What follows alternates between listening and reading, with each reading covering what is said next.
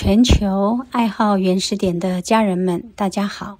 今天是二零二三年二月十九号，张医师线上课程。我们今天的主题是实作分享，还有总论。张医师，我们今天一开始的实作分享，我们先放一个。老师从二零一八年一直到最近，老师关于头部原始点按推的方法跟注意事项，我们把它整理剪辑出来。我们等一下先放这部影片，然后再接着我们有两个案例，一个是皮肌炎，一个是乳癌口干舌燥。放完这三个影片以后。再请老师开始讲总论一。好，那我们现在就先放这三段影片。二零二三年整理更新头部原始点按推手法及注意事项。我们来找耳后的原始点。第一个手放着，然后拇指把耳垂拨开，以食指。指尖去测试两骨之间贴近耳背这个位置，就是耳后原始点。枕骨下沿的位置刚好就在耳后原始点后面乳突骨对过来，然后再来枕骨下沿交汇处，就叫枕骨下沿的起点。沿着枕骨下沿，紧贴着骨肉之间，然后延伸到脖子的大脖筋为终点。容易犯错的，就是操作者会去转患者的头，这个动作转是很危险的，有时候一转就受伤了。所以最好的方式是由患者自己转。好，请你转过来。这样才可以避免危险。第二个，容易犯错就是工具的使用。当你要放到耳后这一点的时候，最容易犯错是，应该是在我们刚刚讲的两骨之间贴近耳背，然后掌心向内。结果有些操作者，他自己手就偏掉了，可能偏这里，也可能偏。这一边，这样都不是掌心向内，这样的动作都是错误的。所以掌心一定要向内。耳朵要不要贴这个床铺？第一个，我认为还是要有一个距离，因为它怎么样，你是要弯腰的。那如果你贴近，这里反而不是你你的空间，这里还是要有一个空间出来。你贴得太近，反而不容易做出来。应该是要有一个距离，这样，因为有一个距离，你看我就可以怎么样压下去。如果我能站在这里，哎，这里斜进来，我这样垂直变成怎么样？我是斜内侧，这个就不对了。所以它的位置距离应该是你容易施力，然后能够垂直下去，这个就对了。所以应该是要站后面一点。第一个弓箭步，轻触，工具拿出来。掌心向上，九十度，九十度。然后下去的时候，记得身体要稍微靠。靠的意思是，如果你没有靠，有时候直直的就变轴对肩，就错了，轴对胸。好，那如果刚刚的姿势容易犯错，一般是怎样？就是这样，屁股上来了。那这个力量是不扎实的，所以如果你要揉到很扎实，重心势必要怎么样？往下沉，哦，就是我刚刚讲，蹲低一点，那这样力量才能出来。甚至有人在做这里就这样，这样是做不出来的，就是会很累。然后一般都是在用手的力量，他不懂得怎么样，这里沉下来的力量，那这样才能够。做到很轻松啊，患者被揉的时候也会感觉很舒服。然后第二点，第三点，越往下的时候，你的手可以把它稍微拨过来一点，那这样你的力量就怎么样？不用到这里又更下去，好，这样方便于操作。这支撑手也有很多人放错，就是放到头顶来，它事实上它只是轻轻的放着，做你的支撑手而已。也也有支撑手放到床上，也有人这样，啊，也有人放这样，但一般很多放这样，就这样这样也在做，那个是不行，那个头要把它固定，要不然你这样揉你也觉得不稳哦，哦，所以它这里有让患者稳定的感觉。那揉起来也会扎实，它头不会晃来晃去，也有这样的固定作用。好，那姿势做好了，我们的工具，第一个手稍微轻轻扶着，然后手心向上，然后记得这个不能翘太高，翘太高的时候，你这里九十度，你势必身体要往后才能保持九十度，那这时候头就会对着轴了，所以。它这里要放下来，那放下来，你身体就要自然往前。那往前的时候，这里轴就对胸了，所以这里要记住，轴是对胸，所以这里是有一个斜度斜。如果你看这一个直直的，那就是用手的力量，所以一定是这样斜斜的。然后这个又放低，然后身体往前，那靠到胸。然后保持这里的九十度，还有这里的九十度，那这样都做出来之后，那而且这一条线不能变，好，那这样就可以很轻松的做。需注意的事项是，要注意的是手不是这样，也不是这样，这样顶进去，而是这样垂直下来，然后钟摆的动作。然后要注意的还有有。最多人是不是用手腕，而是整只手，这个都是错误的。我们现在来按推枕骨下沿，那我们要按推对侧，这个要有一个距离，所以我们做法比原先的做法还要外出一点，这样保持一个距离。同样，我们的身体还是以患者这个头部的方向，这样做出来之后，一样辅助手。放在头部枕骨下沿第一点位置就在这里。那我们把工具拿出来，用手肘掌心向上。好，这是第一点。第二点，第三点，第四点。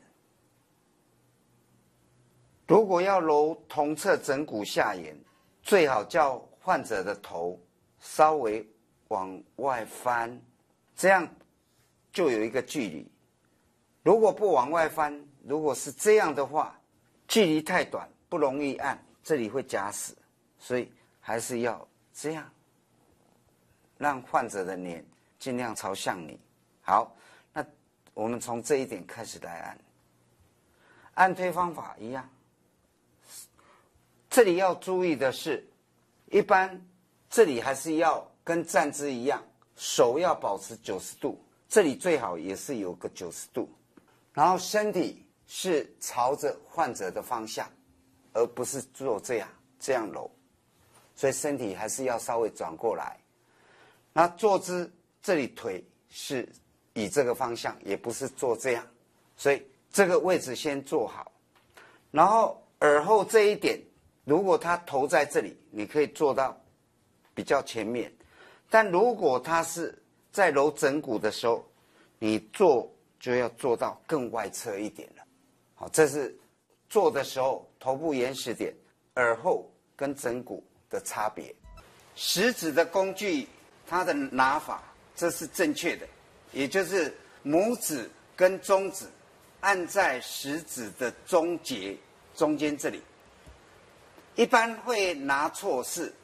都想把它顶得更深，然后这两指就会拿到底下来，啊，以为这样长才能挖深，这是一个错误观念。所以正确拿法还是这样，啊，拿错了会影响到它的稳定度，也就你拿太下面，这个会摇晃。所以务必以拿到哦食指的中指节，那拇指跟中指夹紧食指的中指节，这样就稳固了。那一般耳后原始点有三点，这是第一点，这是第二点，这是第三点。到接下来这里就软了。当然，临床上还有人痛到这里下面来，但一般都是在这里，也就是约略半根食指长，哦，这个位置。好，那工具拿好之后，我们直接顶进去。顶进去，第一个要注意的就是，如果你要按推身，身体稍微往前，往前靠，哦，那这样力量就已经进去了。力量都不是出在这里。而是以身体去调节它的深浅，所以如果这样就没有力量。但我这样一直往前，哦哦，我也感觉得到，这时候食指已经顶到底部了。那按下去了之后，接下来就是要靠前头摆动。那前头的摆动就是这样。大家在看我前头不准，好像有一点旋转。但实际上，我下面是直线的，然后以前头摆动，幅度稍微大一点点，那这样患者反而会舒服，速度也不一定要强调很快。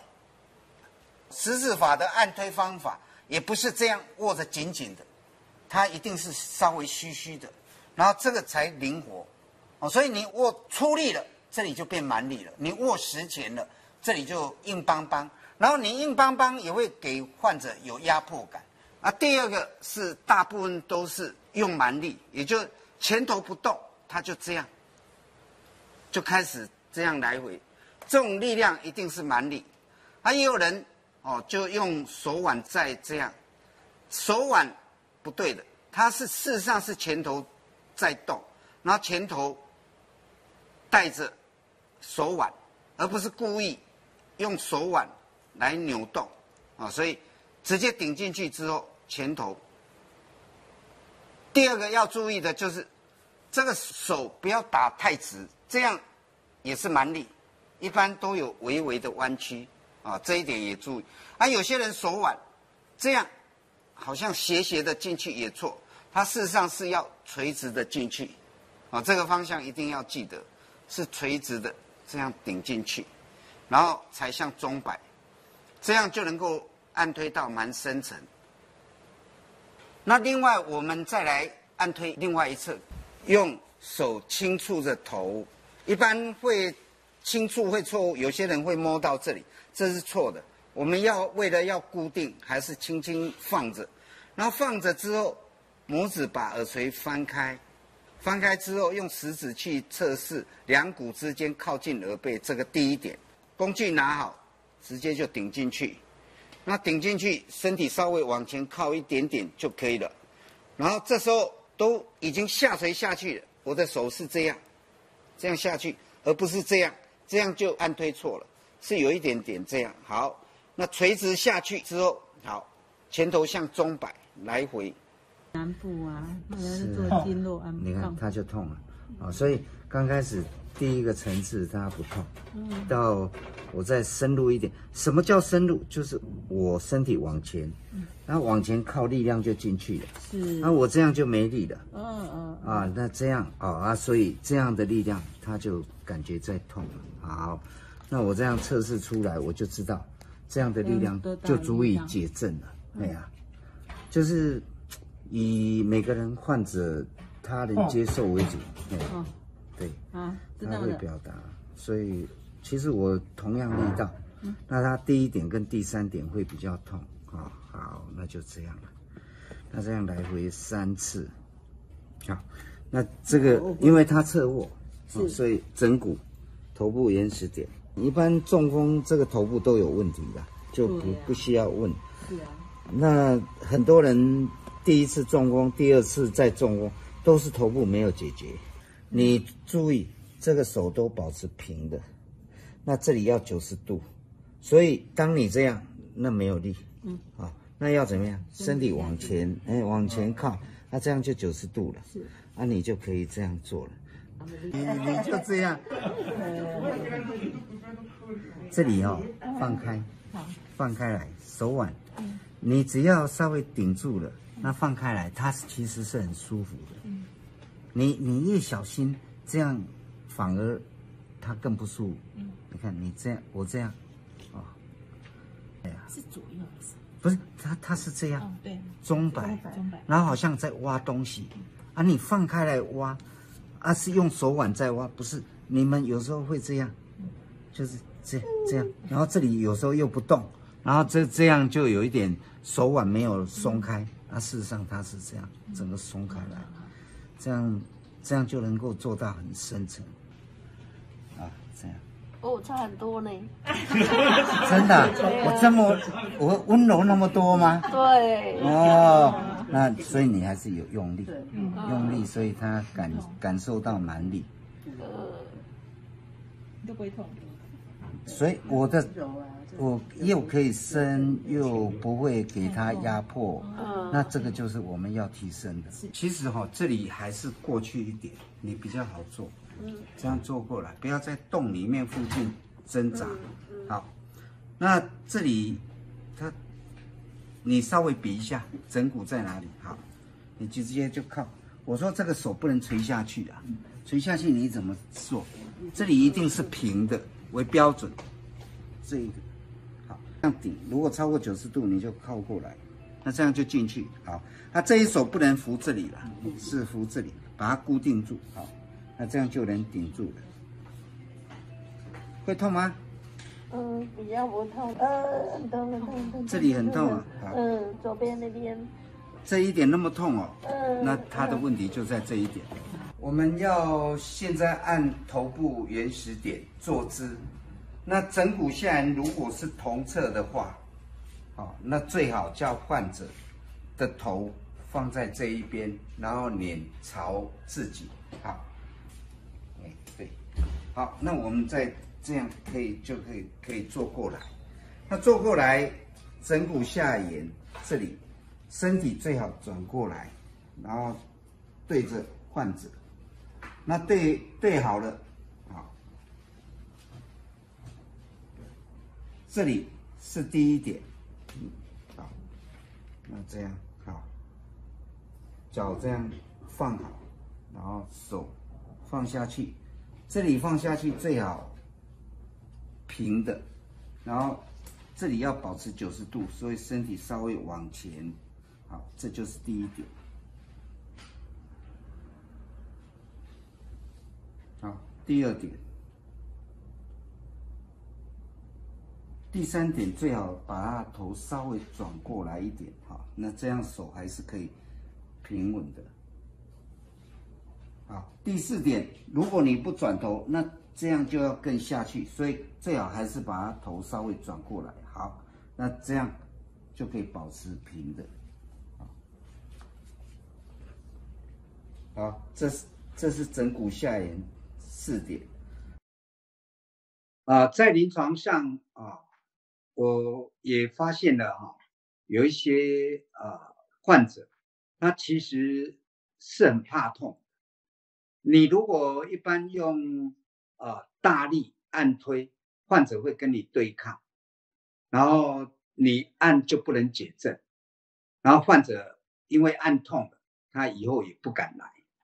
啊，所以遇到这样的患者，第一个我们的手法一定要懂得怎么由轻而重，啊，然后慢慢啊再来深层进去，啊，能够达到解症，啊，这些技巧我认为啊非常重要，啊，甚至是再拿的工具啊，我们的手法几个工具也可以稍作变通。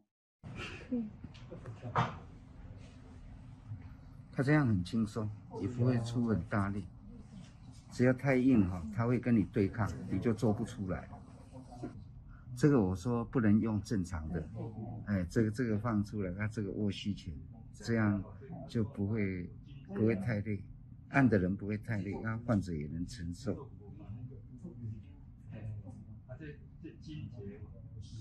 好，稍微等一下。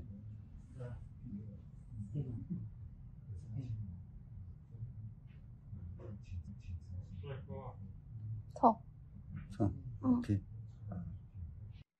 我们的手拿的工具本来是拇指还有中指顶在食指，那这样顶，第一个力道比较大，把拇指哦放开哦，那个拳头一定要握虚前，不能用力握，用力握哦，那就会很僵硬，很僵硬，你按下去，患者一般受不了。哦，这是在对于头部原始点哦，耳后，我们如果遇到哦，轻轻一碰就痛的时候，哦，我们那个食指的工具就可以做如此的改良。皮肌炎，鼻肌炎在西医是没什么药，那你现在症状是怎么样？脸红，然后手啊、身体都变，就是然后会破皮了，然后我就贴那个人工皮，好几个地方都破。破了它为什么就要贴人工皮？因为如果没有它，它用到东西就是哎腥啊，用到水啊什么也腥啊。会吸哦。对呀，哎也自然破掉了。啊，嗯，那你全身是吗？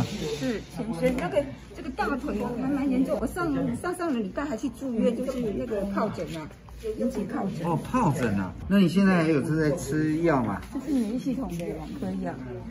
那个没有用了，我刚刚已经讲，西医也说你没得治了，你还在吃他的药，他都已经跟你这样讲了，你还吃他的？那个药是控制你怎么样，痒的时候吃是吗？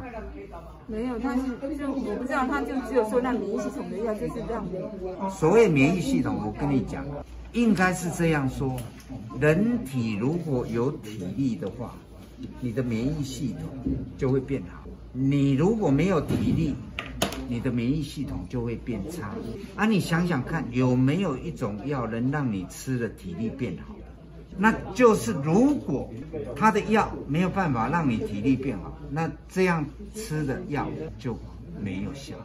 那没有效，而且西药是寒凉，那你就会越吃越严重。你听懂我的意思了？的头现在都是皮都是凉的。我我知道，那我们要先找办法帮你解决。但你靠那个西药已经是没有用，那没有用还不打紧。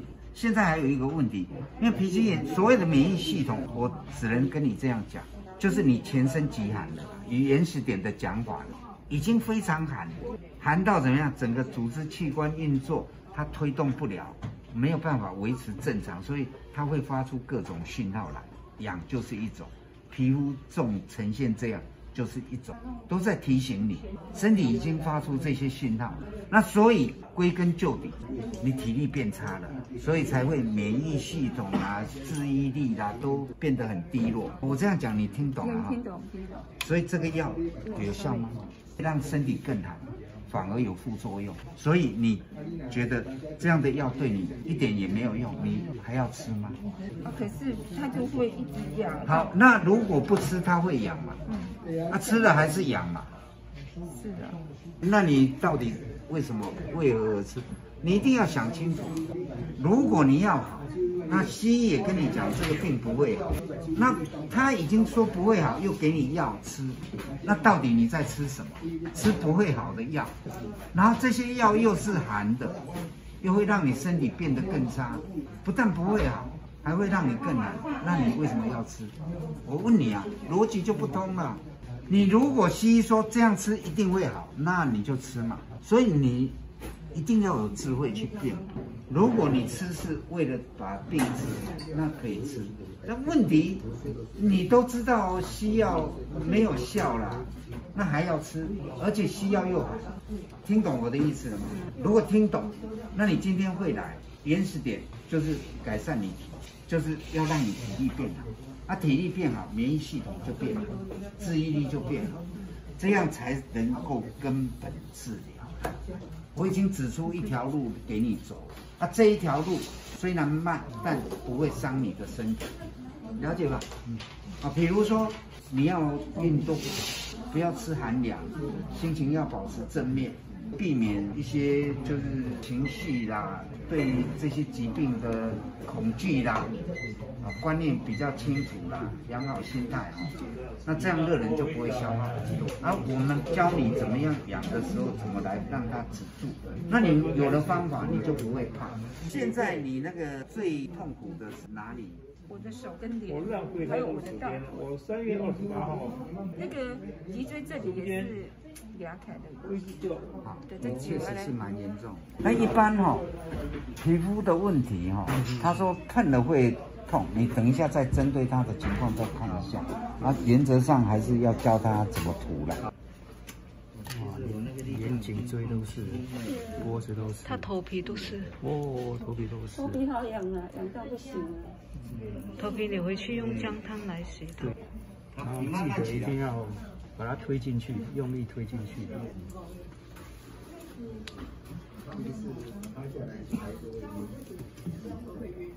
嗯。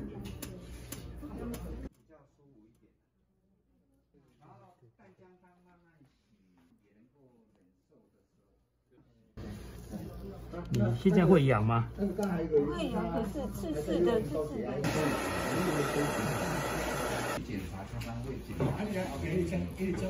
然后记得你在家里按，一定要出一点力把它按进去，把姜粉推进去。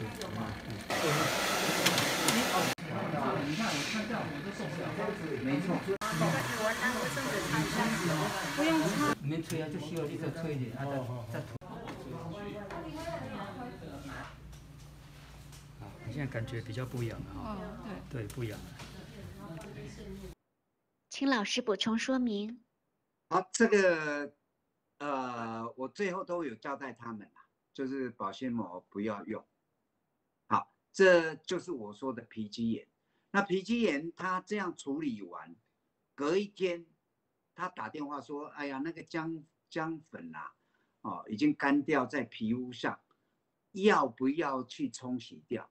那他打来问，已经隔了二十四小时，他我问他痒不痒，他说还是不痒，那表示哇，这个这个全身这样涂抹，让患者恢复的特别快，哦，那西药也不能止痒，他已经到这么严重，好，那这个就是我说的，现在遇到这样病，如果没有原始点这种方法。哦，它是很难很难好。上次你来哈，就是他有全身帮你涂嘛，是是是。他涂完还有帮你按推，你当下好像就比较舒服了。是是。那时候来的时候全身痒。是。啊，那时候按完你也说有隔一天打来，好像你痒都有改善。嗯。啊，你大概问一些问题，你们就开始处理了。是对的啊，到今天来这样已经有两个礼拜了，三个礼拜了，哇，实在隔太久。我以为你还会来，因为怎么样？因为你是全身性，是这么严重，所以我一直以为你会来。因为我自己不会坐车，然后我今天是我女儿放假，然后我一直想说，呃，希望她载我一次，然后下次我就会坐车这样子。那你这是两三个礼拜你自己做，结果？更啊，更严重，更严，为什么？因为我前前一周哈，就是方法不对，一到四是我先生帮我推的，然后他推的可能比较用力，然后我的整个背也拢垮，也拢垮，会密密麻麻。我等于你先生推，推到皮都破了，对，哦，这个本来没有的东西都长出来，这本来。没有的就又扩散起来。他刚刚按完痒有没有改善？有有。啊，按完立刻改善。对，立刻改善。所以哈，痒要有人按呢。可是我现在他就是很麻烦。因为你是皮肌炎，嗯，全身性是，跟别人不一样。你们家人要学，因为这个方法是自救方法。嗯，因为。这个病要完全好，要有一段时间嘛。嗯，如果有一个人带你，他学会，啊，我们认真教你，他教你，你回去就有人帮你，因为你背部自己推不动啊。对啊。啊，一定会痒啊。对啊。啊，在家里他们只要按个差不多，顶多二三十分钟就。回去就学了之后，就那个效果就没出来。啊，因为他没有学成啊。我已经跟你讲，西药不能解决你的问题，而且它寒凉，以后你的问题还会越来越多，所以我才说，尽量你不要再吃西药，因为西药西医也跟你讲没效了，它只是在控制，它事实上是控制不了了，所以最好的方式就是把西药戒掉，啊，家人来帮忙你，因为这个是自救嘛，啊，这个很简单呐。涂姜粉泥呀，只要用心学，啊，那个开关按到了，它就不痒了。那个西医还安排我去照那个，不要照胃镜那些东西。我跟你讲，都不要了。我是这样建议啦。那你要去，我也没办法。啊，你事实上按一按，这里按一按，你现在胃也不会痛，因为你的胃跟后面也有关。还有一点点。还有一点点，等一下他再帮你按。啊。应该可以立刻缓解。你这里的痛跟后面的开关有关。有关啊，你这样一讲。他在帮你按完，我们马上问啊，如果你不痛了，确定了啊，那就代表有效了。啊，你还要检查嘛？我们如果当下帮你按，那这个就是阴呐啊，这里阴它照不出来啊，啊，我立刻帮你缓解，所以你去照，他讲了那么多，你只会更烦而已。而且他的药又寒，那你越吃不止以后胃会出问题，以后更多问题，所以教你会了之后。你们家人自救，啊，也不要再找西医，最好也不要来找我，是这样的意思。我懂。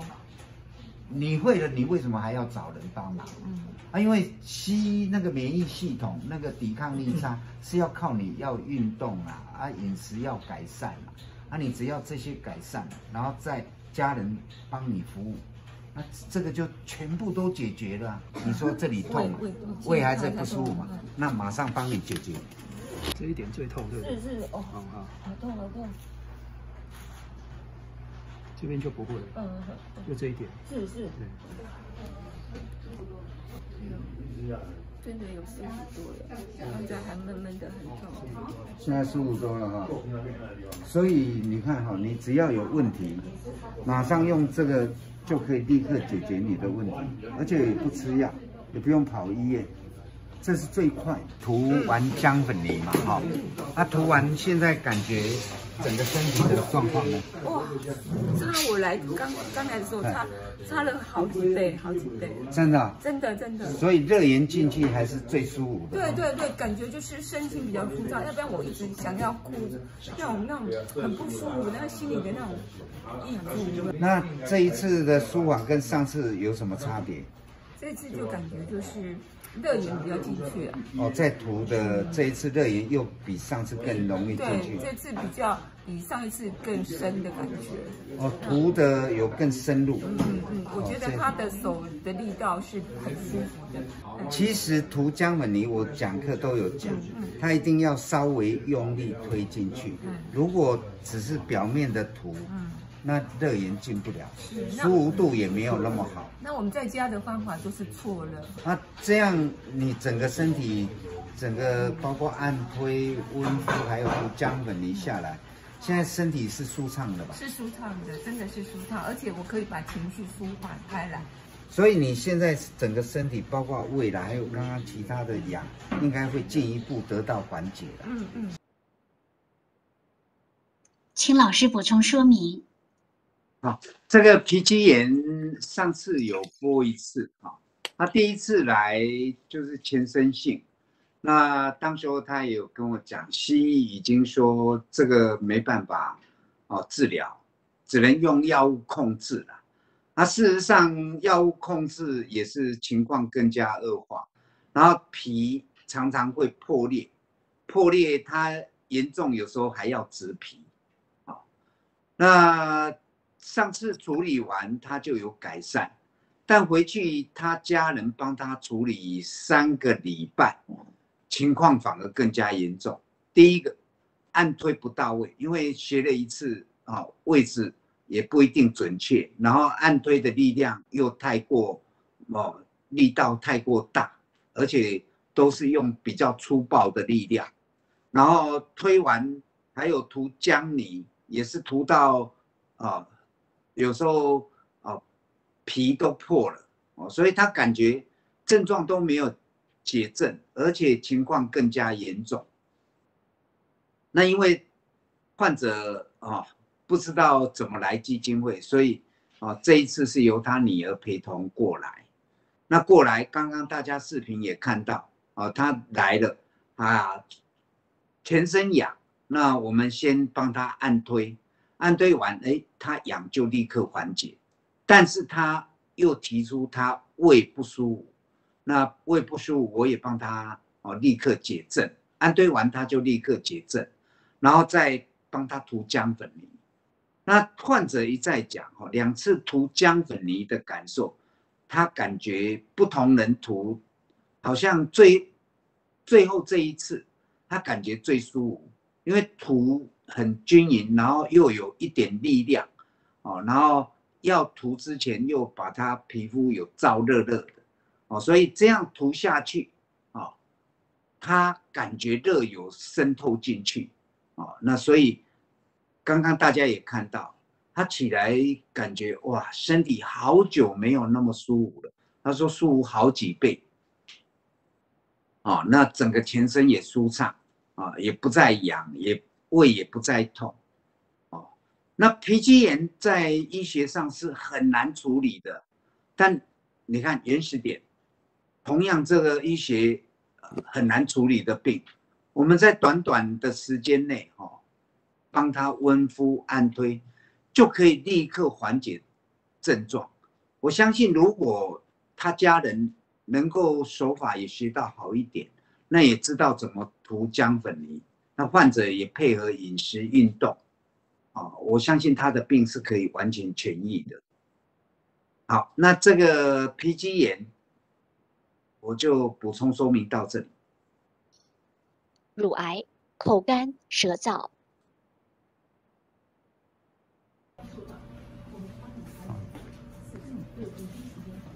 现在感觉口干有没有比较好一点？有口水。有口水了，对不对？好，你这里不解开，一直会口干呐，啊，你就一直想喝水，啊，事实上水又对你太多又不行。所以这个是体伤引起的症的不适感，一定要从这里解症。再来一次哈。痛。对我刚刚不敢按力，我要慢慢深层，你口水就会多一点点，慢慢帮你按进去。因为他生病，不能太大力按，一定要很有耐心，由浅入深。我现在是一层一层帮你按进去。啊，我还没有按到深层。你你现在感觉口干有没有比较缓解了？嗯，有口水。有口水。好，我在最后不再帮你按一次。好痛。这里，好，忍一下哦。现在口水是不是更多了？嗯。对哈。好，我在最后帮你解决整骨。我现在在处理他的整骨，用前头法。然后脖子也是用前头发，这里脖子会不会痛？也痛，也痛啊！哦，那这个也有问题，顺便帮你解决。那这个按完、梳完，用指腹三个指腹把它顶顶上来，这样，我用三根指腹进去，然后靠在脖脖子的旁边，我们的筋有没有？它事实上这两只用力比较深呐，那面积又大，所以如果没有按开，你这个眼是进不去。它，然后越温敷，它越口干舌燥，就是不能解症。是，所以以后遇到这种问题，就是直接解症再讲，然后花一点时间，因为重病你不可能结症一下子用到很深的力量，然后他又不能趴，那所以他的手法不能用我们一般常用的。你现在嘴巴感觉怎么样？嗯，口水多了。口水多了哈，不会口渴了，对不对？可以吞了哈。那这里再温敷热盐就可以进去。要啊，这里下面放个红豆蛋。那昨天处理完，你感觉有改善了哈？那现在就是今天还有口干口苦。现在就。那我问你，现在的口干口苦跟昨天比较起来，程度是不是有减轻？有，现在有口水，有那个有湿润。有湿润，昨天完全没有嘛？我看你很干燥，那表示还是有效。等于昨天按完到现在，他虽然有口干口苦，但是比昨天完全口干没有口水是好很多嘛。哦，从这一点来讲，对，要按整骨下移，嗯嗯，这样顶进来，然后这个头，嗯这样扶住，这样做一个交叉，然后你看手就可以变得很柔软，嗯嗯，一定要这样，然后这样，你看这样，你可以随着你进去，好，那到深层，就这样顶进去，这里很痛是吗？对，嗯，那这样手手腕就变得很灵活，这是仰躺的最好方法，我试过很多。一般还有一种手法就是这样，用这两根指头顶，但是这样顶不进去，这个变一般的舒缓，嗯嗯，所以一定是前头发，嗯嗯嗯，这样，那这样慢慢顶进去，啊，这个头就这样被我这样顶，嗯嗯嗯，啊，它是顶进去，但我下来这样有没有？哦，这样，啊，我是用手腕，手腕在转，所以它这样就好像在拨筋，简单讲，然后会很舒服，嗯嗯嗯，然后脖子也是，我在示范脖子，嗯，这样下来，这个就是脖子，嗯嗯嗯，它整个就紧贴着，它应该这样很舒服，对不对？嗯，啊，这样面积又大，那这种是重病患者在用，就是它很虚，啊。肉比较少，那我们这样就可以直接顶进去啊，这样。啊，这个手法我认为是仰躺最好的方法。来，你看手顶着，然后下来转，这样。嗯嗯。其实是手腕在转。嗯。很这样转很柔，因为是手腕，我不出力的。对。只要用用力就不对，所以我说重病就是要学那个柔劲。要不然很难处理。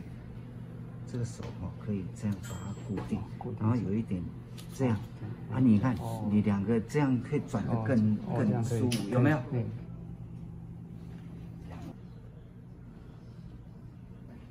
痛哦，痛。好。昨天哈，我帮你按完哈，你那个口干舌燥就有口水了嘛，哈啊，那个到今天你又感觉口稍微干干，口有一点苦是吗？好，那刚刚我们志工帮你做完之后，你那个口干跟口苦现在还在吗？没有，已经都解决了，口苦也没有了，好，那表示这里他都会帮你完全解正了，哈。这一个患者哈，他情况其实是蛮严重的，我判定是应该命危了啊。那他是凭以前就有类风湿性关节炎啊，体质也蛮寒的。然后去年啊，去年啊，突然间乳房就肿块爆裂，然后开始烂。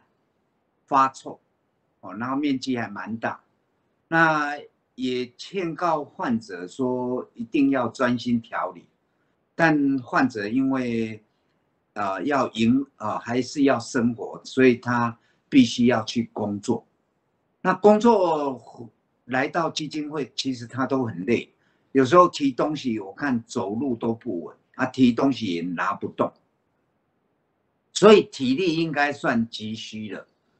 啊，那来基金会，基金会的志工都会很用心帮他啊处理，有时候都要花一两个小时，差不多处理一个患者就要花两个小时，因为他全身都不舒服啊，还要帮他全身涂姜粉泥。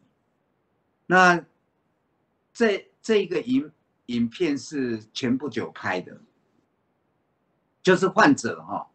虽然也有按推，也有温敷，哦啊，处理包括乳癌哦那个伤口，但他那一天突然间感，呃，应该也不是突然，已经有一段时间都觉得口干舌燥，啊，那一天特别严重，嘴巴连一点点口水都没有，然后他那一天一直喝姜姜汤。他喝了很多，还是不能解渴。那我跟他讲，哦，这个是头部体伤引起的。那因为患者身体很虚，又不能趴着坐，所以当然也可以侧躺但他躺下来是最舒服的，所以我就以患者最舒服的姿势来帮他做。那仰躺，按推呃头部原始点，哦，主要是用食指工具按推耳后哦两侧，啊，那这样按完差不多慢慢按。按了差不多十几分钟，他本来口中很干，没有口水，哎，就翻慢慢嘴巴就有口水出来了，然后再经过呃按枕骨下沿，还还有脖子这些都帮他按松了，然后最主要还是头部原始点啊，耳后那两点。按完之后，他口干舌燥，口水，口水有了，口干舌燥也改善了，哦，当当天就改善，然后继续就温敷，然后也处理其他的啊，包括他全身酸痛啊，啊，还有涂姜本泥这些，所以那一天时间也花蛮长。隔一天他再来，他再来的时候。刚刚视频大家也看到，就是患者嘴巴已经有口水了，只是还有一点口干跟口苦。那第二次再做完之后，他口干口苦也不见了，也简单的讲就是嘴巴那个口干舌燥，一直想喝水的现象就完全解除了。啊，这个患者为什么值得？啊，这样来讲解也让大家了解。第一个，我看很多哦，到了重病，已经命危、显象命危的时候，他们常常表现出来的也是好像中医讲的一派热象啊。那这些症热象症状，最容易让医师误以为是热性体质而开寒凉药。你看他，如果这个没有延时点，如果我还是当中医师的话，你看，当我给他喝姜汤，给他喝水，他还是口干舌燥，甚至我都会想开寒凉药哦。如果我没有延时点的话，哦，以以前呐，我都觉得这个明明就是热性体质，但很明显有了原始点，我已经很清楚。因为原始点从来没有冰敷过啊，按推完就温敷嘛，这个大家也清楚。所以一针二灸三用药，如果照中医来讲，你看外治法针就是像我们的按推，那外治法就是温敷嘛，一样的道理。那当然三用药，三用药也应该是热源，而不是寒哦，还还有一个热性体质开寒凉药。哦那灸没有问题，到了药哦，很多中医师就开始误以为哦，这种口干舌燥哦，一直想喝水，然后又饮不解渴哦，一定就是有火气哦，这这个是千古之谜呀。但是为什么原始点讲了那么久，那很多中医师还是会有这样的疑惑。第一个，我我的感受了。手法可能会有问题，也就是像这种像这今天就举这一个患者来讲，他已经到命危，身体已经很虚了，啊，那走路有时候都会摇摇晃晃，啊，那全身都是病啊，包括手也有水肿，在这么严重的情况下，你看他都有水肿。然后又口干舌燥，里面水那么多，怎么会是，呃，算是热性体质呢？啊，这些水又没办法化掉，啊，那如果在中医讲，啊，这个这个可能都是呃热哦，加上湿啊，那你用利水的也不能解症啊，因为它真正的。刚刚大家也看到，他真正的口干舌燥，饮不解渴，不是他体质很热，而是他根本就是头部有体伤，这也是原始点，哦，打破了这个医学的呃僵局，然后从实作上去领悟的。但如果像这种重病患者，你用一般的手法按推几下，哦，就想解症，那是不大可能的，哦，所以我光按这一个患者就按了十十五分钟到二十分钟，啊，那十几分钟后他才嘴巴本来口干，那嘴巴连一点水都没有，啊，事实上已经喝了很多水了，啊，那他又有水肿，啊，手有水肿，那所以我建议不要再喝了，直接从头部解解症。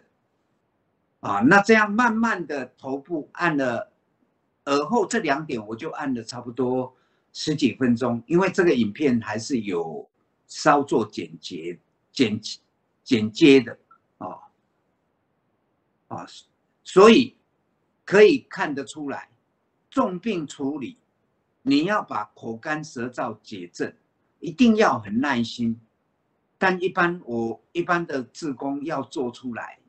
确实有一点困难，啊，也是因为自宫有困难或学原始点的医师也不懂，所以他认为，哎，确实就有热性体质。我是这么想，是不是这样误解？但在我一路这样做，哦，我是很笃定，没有所谓热性体质。像这样的患者，你按推还是可以当下解症啊，即便。他已经到命危了，而且又有肿瘤到一，我看应该已经到末期了，哦，又破裂，然后又啊有发臭，哦，那每次清洗也都花很多时间。那像这样的患者，我们还是可以帮他，啊啊，除了温敷，还有哦靠手法的按推，也可以达到结症。那这一个患者是羊糖，所以手法上以啊，我是用食指法去做耳后。那至于枕骨下沿还有啊脖子，我是用前头法啊。那这这样大家也可以实际上哦，只要懂得操作，应该是可以做得出来。但记得手法一啊，尤其前头法或食指法，一定要懂得用手腕的工具，整个手腕。一定要灵活，呃，不不是很僵硬，然后手一定不能出蛮力，出只要出蛮力，重病患者受不了，他就不让你按，甚至他因为痛，他会跟你对抗，那这样对解症就帮助就会有限，所以有些人就是用延时点，没有办法做到解症，那这样的患者，我记得还有一个血癌患者，之前也做过一个。也是来的时候，他整个脖子也是僵硬，那跟这位乳癌患者一样，他完全嘴巴是干到没有口水，那也一直想喝水，哦，但是喝了一点又不能解渴，啊，情况已经很危急了，啊，他走路都很喘，啊，也是命危的情况下，那我那个更加严重，比这个乳癌患者更加严重。那我就是光做他的头部跟啊脖子，整整做了三十分钟，就是只有头部原始点跟脖子，因为也不敢大力，怕也再消耗他的热能，然后慢慢由浅啊慢慢推开，再由浅入深，然后再由轻而重，然后手法都是很柔软的啊，不给他有压力。所以最近我也在教自宫，像遇到这种患者，患者你要用食指或用前头法，那个握拳一定是握虚拳，不能用力握实拳，实拳你很僵硬，一顶进患者，患者就很痛，患者是受不了，哦，所以一般你一顶进去，他大概几秒钟他就不让你按推了，所以一定手握虚拳，那。又用手腕的力量，啊，所以很柔。那这样慢慢揉进去，哎，患者就能接受。啊，有时候要花多一点时间。像我说的，那个血压就花了差不多半个小时啊，然后那口干舌燥也就解症了。但我相信这样的患者，很多自宫应该是做不出来。那原始点如果做不出来，我相信不管中医也好，西医也好，更难解症了啊，因为这种口干舌燥，它根本就是头部引起的。好，那这个也是再说明一下。原始点，它的理论确实没有热性体质啊。那如果有一派热象啊，包括身体燥热啊，或是嘴巴口干舌燥啊，那你可以找出相对应原始痛点来按推。一般只要处理得当，都可以立刻解症，而且速度之快，比啊比吃药啊或是怎么样都还要快。好，我就提供这一个案例，我就补充到这里。好，老师，我们实作分享的影片就放到这里，请老师开始讲总论一。张医师，请您开始。那我们就开始我们今天的课程。十二总论一。原始点医学概要：原始点医学是放空之剑，从零开始，点点滴滴在患者身上摸索出来的。研发之初，先是重用内热源，之后通过找出压痛点按推，以归纳出一条脊椎与七处原始点。其后又发现外热源的重要性，进而确立症状经按推相对应之原始痛点，无立即之效，可按推患处痛点。外内热源之姜汤、姜粉、姜粉泥，可直接用于体伤位置，并在临床上经不断研发归纳。从而总结出，通过观察症状，善用医疗保健之源，就可从果推因，从因处理，以达到保命及疗愈疾病的目的。由此可见，原始点是以按推与热源做出来的，其因缘果理论及诊疗方法。就是在此实证基础上总结升华而成的，所以才能建立起一个说到做到的崭新医学体系。这个总论的第一段哈，就先介绍原始点医学的由来。原始点医学不是凭空诞生的啦，因为我太太得了乳癌。经过西医的处理，还有寻求中医的这些名医都没有效，而最后进入安宁病房。进入安宁病房，我又不放弃，就开始在西医宣判我太太只能活七天的情况下，我是先用内热源，就是用独参汤，也就是人参。中用单一味补充之后，哎，我太太那个体力就比较好一点。七天过了，她也没有发生意外，整个情况都蛮严重。那时候只能躺，也不能翻身。我看如果这样躺久了，也会不动，也会死掉。我就请四个看护日夜全身帮他按推。他全身的疼痛啊，种种问题啊，甚至睡眠啊，就可以得到改善。也是从他的身上，才开始找，找出一条脊椎及七处原始点。之前我在我的视频里面都有讲解的，这一点就不再介绍。这里第一段就是说，原始点医学是放空之见，从零开始，点点滴滴在患者身上摸索出来的。原始点是做出来的，它不是先开始有一套理论体系，不是这样的，才从点点做出来之后，理论再把它补充说明，是这样而来。好，我们看下一页，这里研发之初，先是重用内热盐，开始用毒浓浓的红参汤，再来就是在找开关，这一条脊椎及七处原始点。最后的结论也前后经过五年，一开始都是从我太太身上摸索，之后没有找出来的开关，就从我诊所的患者身上再进一步把它完善，前后花了五年。开关找出来之后，第一个遇到的黑脚阿妈，黑脚阿妈，结果按推当然没有改善，他脚趾头黑掉。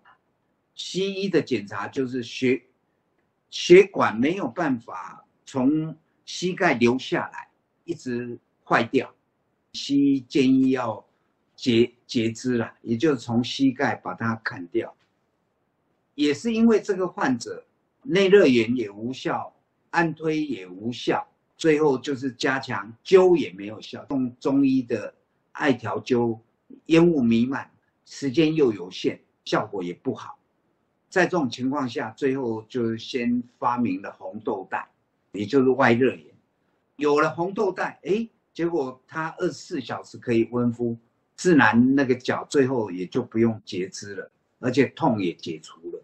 这是刚开始，先有内热炎，再找出开关，再加强外热盐。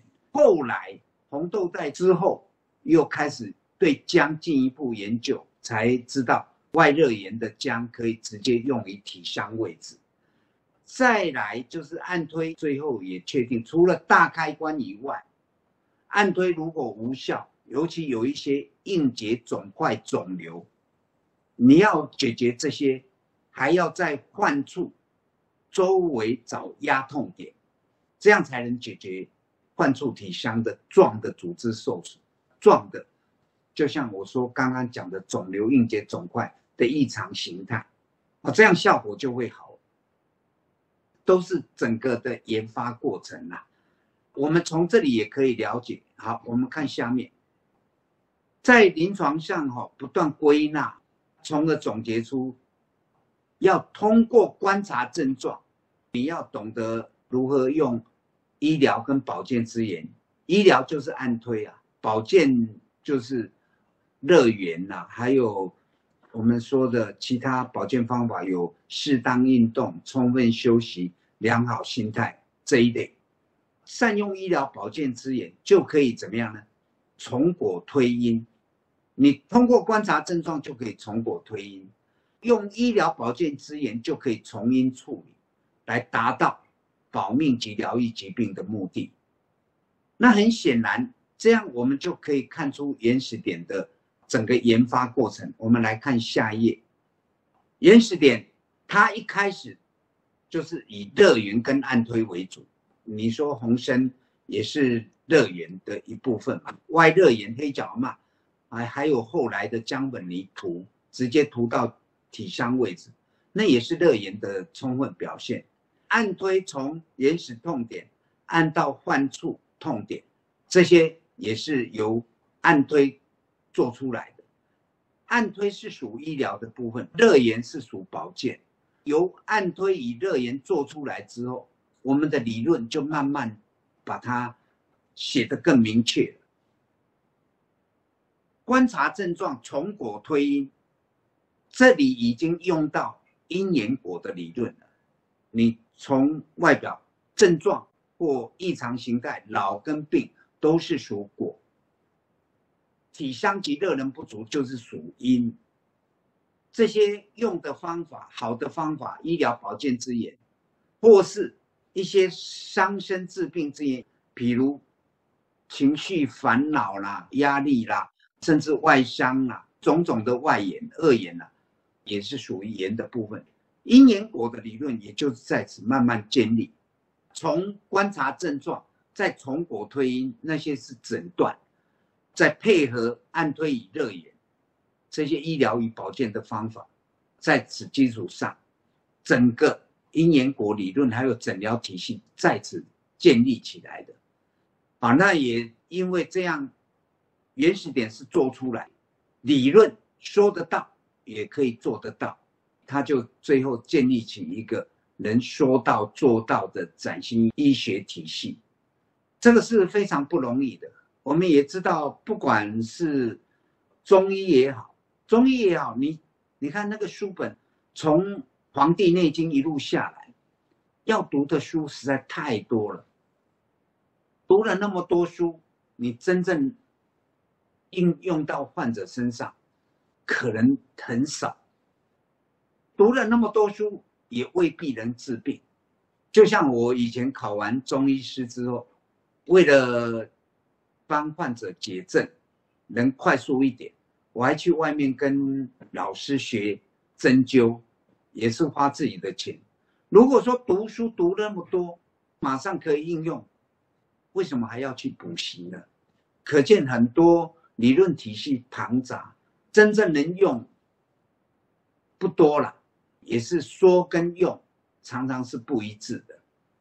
西医也是讲的很多，真正病能做出来的也不多。一样的，这是一个医学大部分都会面临到的问题。原始点恰恰是因为从零开始，它是做出来的。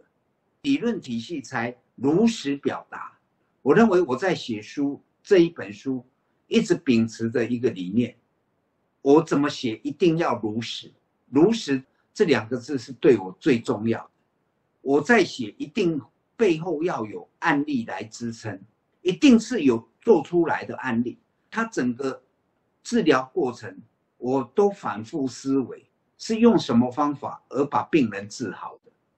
这样写出来的理论，自然，因为它都是做出来的的描述，理论跟治疗就能够完全结合在一起。这样的医学体系，我相信也是创新的。要建立一个说到做到的崭新医学体系，其实是很难。原始点在这一部分是已经可以做到这样，很可惜的。这一本书虽然已经都写到这样，很多人有时候因为手法的不到位，或是观念的不清楚，或是信心不够坚定，以为他自己懂了原始点，结果当他最后不能解症的时候，用了热源或按推不能解症的时候，他又开始起疑了，开始起烦恼，开始是不是又又寻求中医？是不是他们的理论对呢？又在这里开始想太多了，这个有一点就像原始点，明明碰多属他处体伤，按推就能解症，结果可能因为位置找错，或是按推不到位，或是重病你不能由浅入深，懂得慢慢的按推进去，手法一定要柔。啊，因为你的手法很僵硬，又用蛮力。这些重病就做不出来，做不出来，你就会怀疑，本来是他处体香，你就怀疑这个是患处体香，又开始用热源的使用，热源的使用热又进不去，又开始怀疑是不是？这个是属于热性体质，不是寒性体质，整个理论体系又开始混淆了，有些越学越回去的也是这样。我蛮担心这一点，真正要把原始点学好，一定要加强手法，手法一定要到位，还有观念一定要很清晰，你才能够遇到任何疾病都能解症。原始点真正在大突破啊，研发的过程，我认为是从二零一八年以后，知道热源要直达体香位置。尤其这几年，最近我也常常跑基金会看一些手法的应用，我发现手法真的蛮重要。你手法不到位，有时候遇到重病根本谈不上解症。我最近去教他们，一直教，一定手不能用力，姿势到位，这样才能要由轻到深层，一定要懂得身体放轻松，身体要往下沉，把工具带进去，这样才能够达到节震啊。最近在基金会，我也遇过几个，比如我们有志工，那个羊已经脚痒已经很久了，别的志工也有按推，也懂得按推臀部，按推了老半天还是不能解症，我一下手没有多久，哎，就帮他解症。做出来的样子都一样，他揉不到深层，他不懂得用身体的力量，只是一味的用蛮力，这样自然揉的都是在表层居多，达不到结症。原始点说他已经建立起一道说到做到的崭新医学体系，看的人如果真的要学到，一定要手法一定要勤练。不懂的地方一定要谦虚一点，提出来问。我也希望以后在问问题的，不管听众也好，或是我们的职工也好，你如果是在国外，一定要把按推的手法、影片拍摄起来，寄到基金会总部来，寄过来才有办法帮你回答，要不然看不到。你说我每一天都有在按推呀？你的按推可能跟我的按推就不一样，啊，甚至这几年的发展，我也知道，还有一些地方在按推头部原始点额后，竟然用拇指，那拇指我一看就知道，你轻微的症表层的症还可以结症，你到深层你怎么按进去啊？连工具都使用不恰当，那是不能结症的，尤其头部我按过也是几个。你光食指有时候都顶不进去，何况拇指？也希望大家在利用这一本书的时候，读完之后手法还是要勤练，最好还是看我原来的在影片上的一些手法，早期的手法教学，这些都都会讲的蛮详尽。我记得最近我们一个志工。头部原始点一直按不好，我纠正了多次。最近哎，他在按推上进步很大，尤其用食指法在顶耳后头部原始点，他进步很大。我就问，你这几天怎么会突然进步很大？他说之前一直按不出来，反复看我以前的影片，还有一些错误的按推方法，纠正一些早期的影片，哎。他从中慢慢自我修正，最后来我再看他的按推，哎，就发现他突然间好像领悟到，按的方式跟我影片非常相似，而且按推的力道又能按到位，也能够人浅人深，这样才能解正啊。原始点在读理论的时候，我也鼓励大家手法还是要勤练。好，这一段。当然是总论啦，稍微也把手法的重要性特别再强调一下。好，我们看下一段。种瓜得瓜，种豆得豆，宇宙间万事万物都离不开因果定律。例如，种子没有了土壤、阳光、水分、空气等外在条件的协助。是不能生长发育、开花结果的。将此种子譬喻为因，则外在的土壤、阳光、水分、空气等条件就是缘，长出的果实就是果。此即众所周知的因缘果道理。为了理清疾病由来及疗愈疾病症状，可用上述之因缘果的理论加以阐明。因缘果本是假设的名词，彼此相待而生。为方便表述，先设定疾病与衰老为果，则体伤及热能不足的因，即对身体有益。或有害的缘，即与之相对待而成立。好，这一段理论上，我们是用因缘果的理论来把疾病、疾病还有处理的方法，还有到底疾病之因在哪里，用因缘果来阐述啊，这样大家比较容易懂。这里写的都蛮详尽的，我就不再多做解释。我们继续来看下一段。在生老病死的过程中，随着体伤及热能不足的影响，身体不是走向疾病，就是走向衰老。通过观察，疾病表现为症状，衰老表现为异常形态。通过仪器检查结果，疾病表现为组织受损。衰老表现为异常，而疾病与衰老皆属果，其因则由体伤及热能不足所致。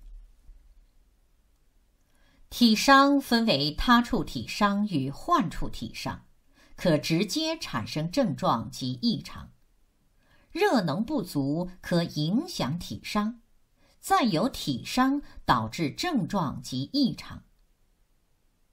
缘可分为医疗保健之善缘，与伤身治病之恶缘。善缘，如正确按推、善用热源、适当运动、充分休息、良好心态等，可改善体伤及热能不足，使身体恢复正常运作，重获健康。恶缘，如生气、压力、劳累等，会消耗热能，加重体伤而产生症状。但有些恶缘，如车祸、摔伤、烫伤等，则可直接造成体伤而产生症状。好，这一段在我们疾病与衰老。就写的非常详尽。至于盐的部分，可以参考我们影响身体之盐。现在很多人书本上已经都拿到了。你们从这两篇这里写的只是一个总论，比较简单，将近一点，你们就可以参考这两篇。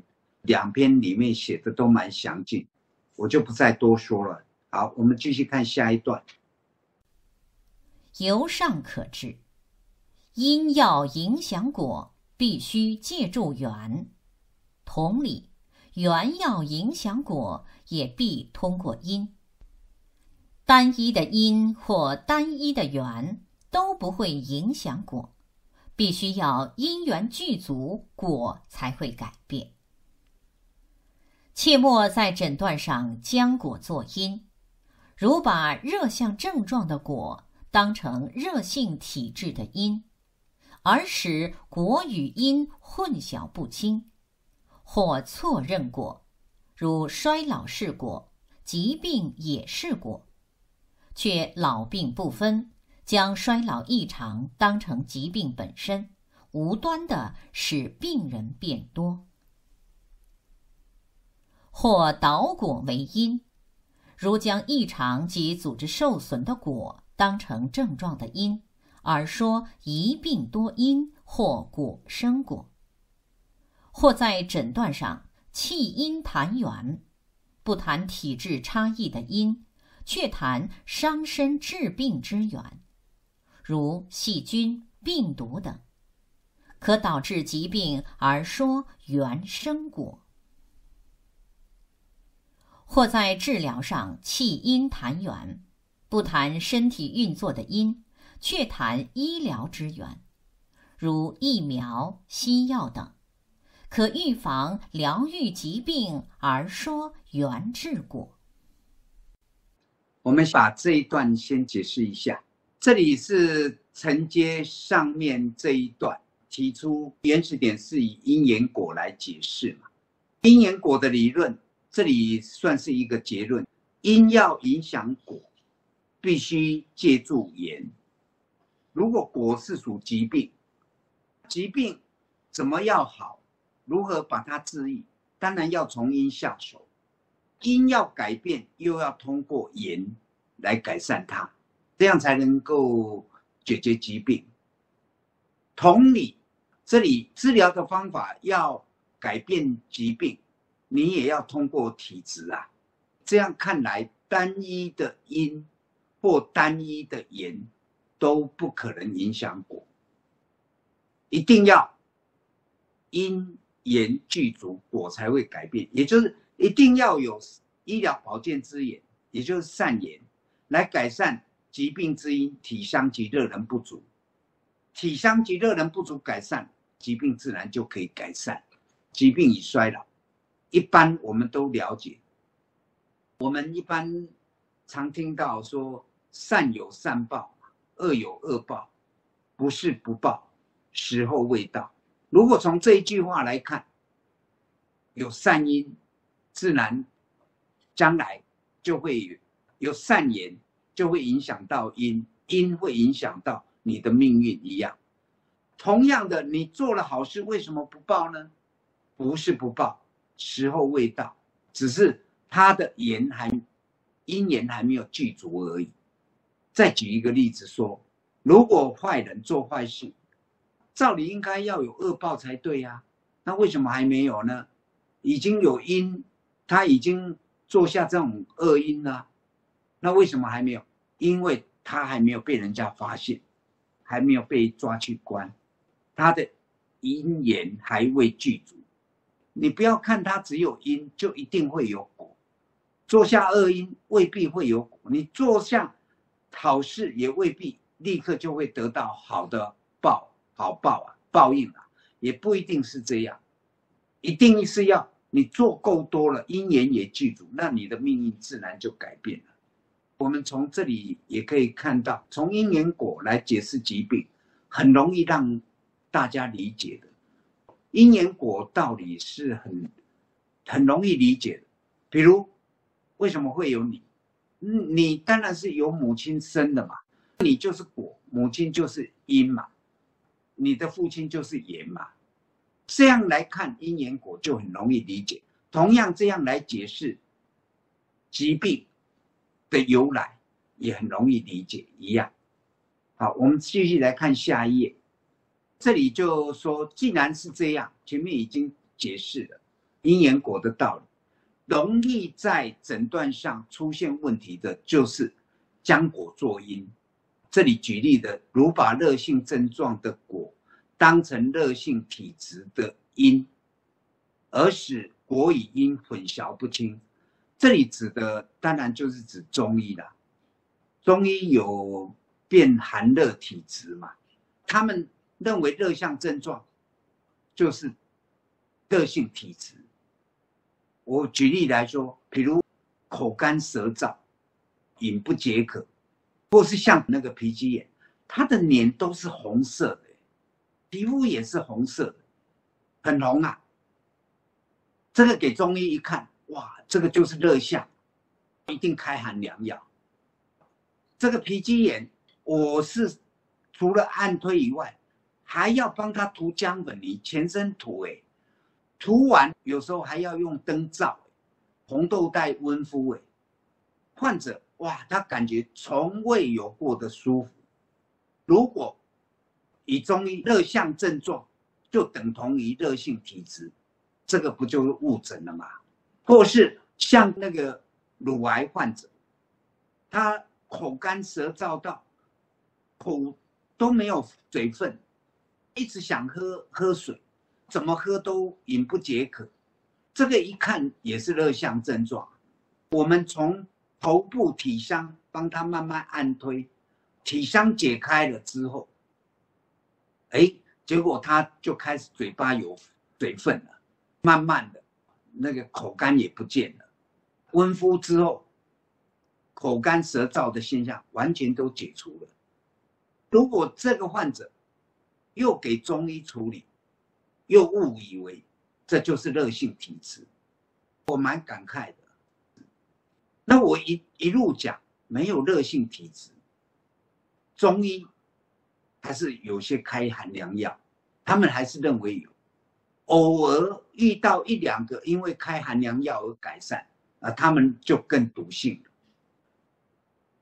这样的患者，如果用温热药，万一他因为体香没有结症，手法不到位，或是诸多原因，他没有结症，又喝姜汤，温敷，热又进不去，甚至会产生更多的不舒服。这个中医也是会误以为，是不是真的有热性体质？我做到这么久，我说没有遇过热性体质啊。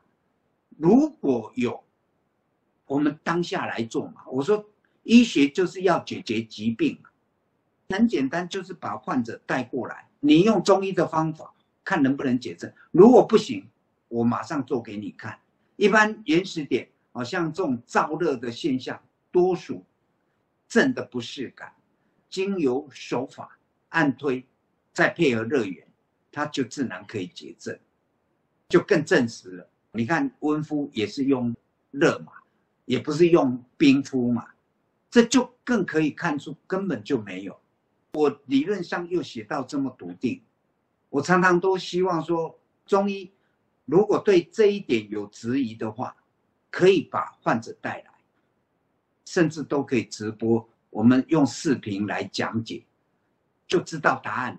真相不难探讨的，很可惜呀。我说过，好像也没有中医师，他们只是内心认为不不大可能，应该也还是有寒热。你的热性体质的患者，真的是做得出来吗？这个都可以大家来讨论。我觉得中医还是有很多需要改革的。同样，中医很多早期听到我说没有热性体质。他们可能就因为观念不一样，而他们很多根本就不看原始点了。这个都在医学上，如果要进步，其实应该都敞开心态来，大家都是要救病人嘛。这样大家做做看，其实答案很快就清楚了。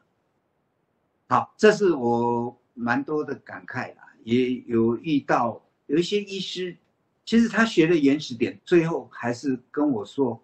有热性体质，哎，这样我也无法再说了。好，那我们再来看第二项，或错认果，如衰老是果，疾病也是果，却老病不分，将衰老异常当成疾病本身，无端地使病人变多。这个指的就是西医了。西医用仪器检查，那仪器检查出来的，不管是异常指数或异常形态。它既非症也非状，既然不是疾病，所有身体的变化，我们前面有讲嘛，不是属疾病就是属衰老，排除了疾病，那当然这些检查异常指数或异常形态，当然就是属老了，老了，医疗不是要治老的，很可惜的，像这些异常形态，包括癌肿瘤异常指数、高血压、糖尿病啊，血糖过高。就被要求要长期吃药，这些药问题也不一定能解决异常，吃到一辈子可能都要被药物控制。好，即便异常形态肿瘤，可以借由手术来开刀来解决。你从果解除，因没有改善，它还会长出来。很多肌瘤割了，哎，它隔一年又长出来，甚至长出更大。肿瘤也是一样，为什么割了之后又会复发呢？道理不就是这样？因为它的因没有解决，那你从果下手，自然又长出来。何况这些果有些是不需要治疗，异常形态不一定要治疗。如果要治疗，原始点也可以处理啊，也不一定要割啊，还是要找出疾病之因。硬结肿块肿瘤。除了按推大开关，还要按推患处痛点，找出压痛点来按推，配合热源，就可以解决了。如果你把衰老当成疾病在意，哇，那所有检查出来的很多根本都是变疾病了，这样病人自然就变多。为什么西医医院越盖越大，医生越来越多，但病人也同样越来越多一样？啊，永远治不完。还有这些新冠病毒引起的很多国家医疗体系都被这些病人追到，整个都快崩溃了。以检查出来的病毒作为诊疗对象才会这样？如果懂就不至于。西医的检查，第一个就是老病不分，后来还有把盐也是当做诊疗对象，也是同样让病人变多的原因。好，我们继续来看下面。另外，倒果为因，检查出来的不管异常或组织受损，这检查看得到的都是果。我说因是看不到，比如体伤，体伤指的是一个。组织器官运作失调的状态，照不出来，热能也是照不出来。你组织器官要运作，当然后面要有一个推动力。我们说这个推动力就是热能，就像电力一样，是照不出这个热能来的。它都是抽象的名词，凡你看得到都是属果。很可惜的，西医常常以检查出来的当成疾病之因，这样就会造成。说一个病可能有多种因，检查出来有各种现象哦，也有异常指数、异常形态或组织受损，反正你检查出什么都有可能是这个疾病、身体疾病的因，这样就会变成一病多因或有果生果。这个在《疾病与衰老》都有说过，我就不再多谈。在诊断上，弃因谈言，不谈体质差异的因，却谈。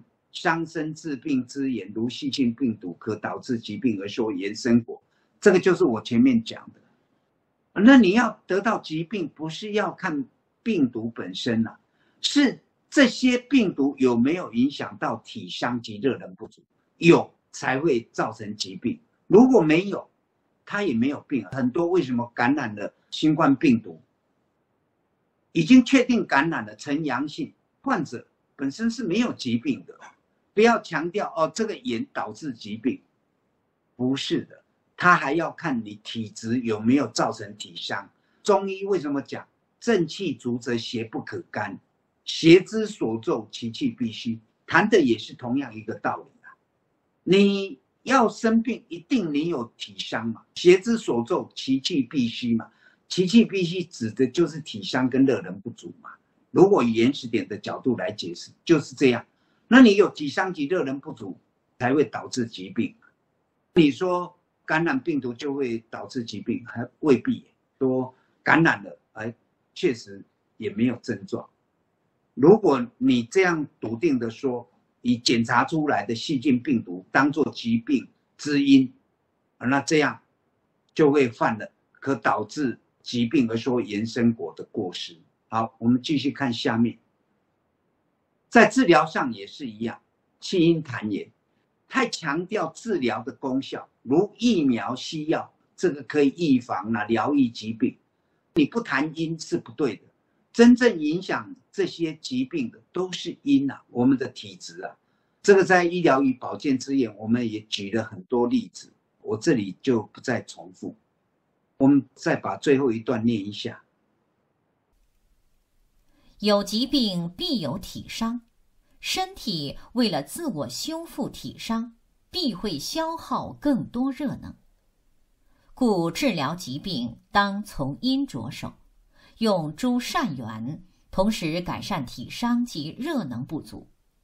此外，要发大心大愿，随时关照内心，反省明察，断诸恶缘。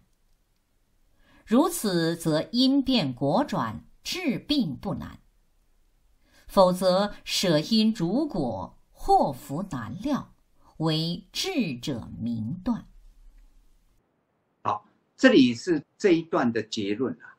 从因缘果原始点认为，处理疾病一定要强调因，因变果转，治病不难。